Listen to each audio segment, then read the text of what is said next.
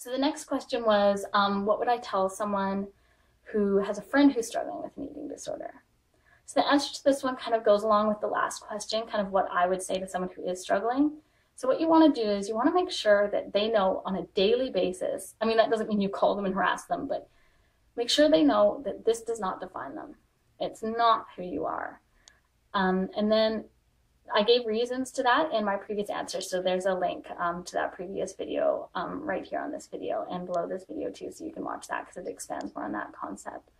Um, another thing is to never let them give up on themselves and to never give up on them. You know,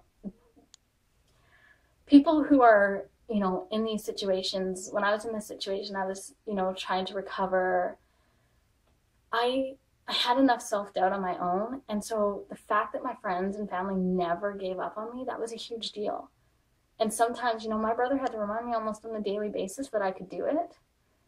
And yeah, it got redundant, but I needed that redundancy. I needed to hear it every day. Um, for someone who isn't even ready to recover yet, um, I would recommend, like I said in the previous answer, you know, even if they if they're interested in reading a blog or interested in reading a book, but maybe they're too embarrassed to go buy it themselves, go buy it for them.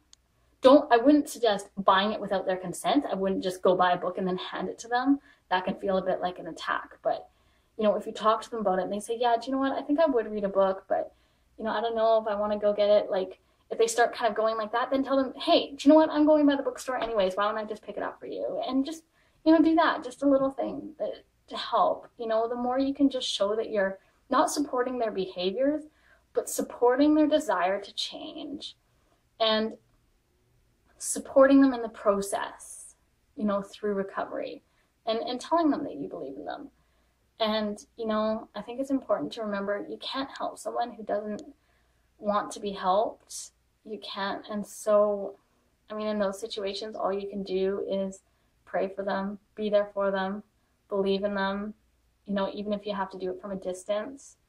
And just, you know, know in your own mind that, you know, you're there when they need you, when they approach you. You know, don't feel bad or guilty because they aren't ready for help, because at least you know in your heart that you are there when they are ready. So don't carry that weight on yourself.